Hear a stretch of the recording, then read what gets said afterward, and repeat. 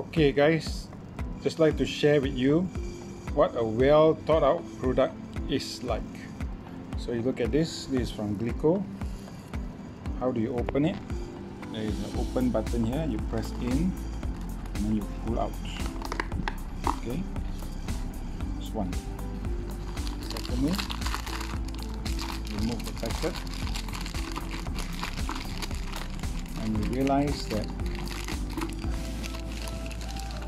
an open on the left and on the right. Okay on the right. So this is what we call a well thought out product.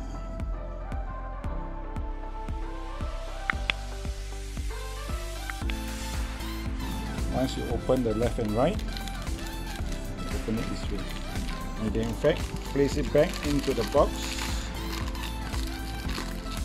And you can eat it from here so that's what we call a well thought out product where the packaging has a function.